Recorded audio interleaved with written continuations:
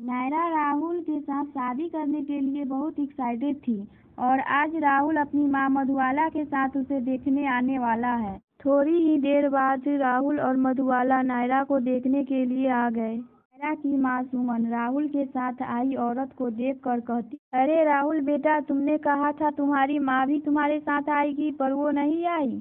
मेरे होने वाले सासू माँ मेरे साथ जो बैठी है वही तो मेरी माँ मधुबाला है। क्या यही समधन जी है, इन्हें देखकर तो नहीं कह सकते कि इतने बड़े बेटे की। और क्या है ना समधन जी? मुझे मेंटेनेंस में रहने की आदत है, इसीलिए मैं इतनी फिट और यंग लगती हूँ। ये ये अच्छी बात है, मैं नायरा को बुलाती हूँ। नायरा जूस लेकर बाहर आती है।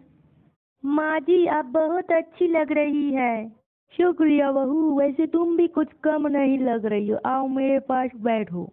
मधुबाला के पास बैठकर बातें करने लगती है। कुछ देर सभी बातें करने में एक आदमी अंदर दरवाजे पर झांकते ही वो धराम होकर अंदर गिर जाता है। इतने में मधुबाला हैरान होकर कहती है अरे चड्डा जी आप यहाँ पर कैसे? आप इन्हें जानती है समदन जी ये हमारे यहाँ क्या कर रहे हैं? अरे वो वो मैं यहाँ। बोलो चड्डा अंकल आप यहाँ क्यों आए हैं? ये मेरे होने वाला ससुराल है। वे क्या है ना राहुल बेटा? तुम्हारी पिताजी मेरे बहुत अच्छे दोस्त थे। उनके जाने के बाद तुम्हारा और तुम्हारी माँ का ख्याल रखने के लिए कहा था। और आज तुम अपनी शादी की बात करने आए हो तो मैं एक बाप की कमी पूरी करने आया हूँ। अरे चड्डा जी आप हमारे बारे में कितना सोचते हैं? आइए आइए। जी सोफे पर बैठ जाते हैं। चड्डा जी मुझे आपसे कुछ बात कहनी है। साइड में चलिए जरा।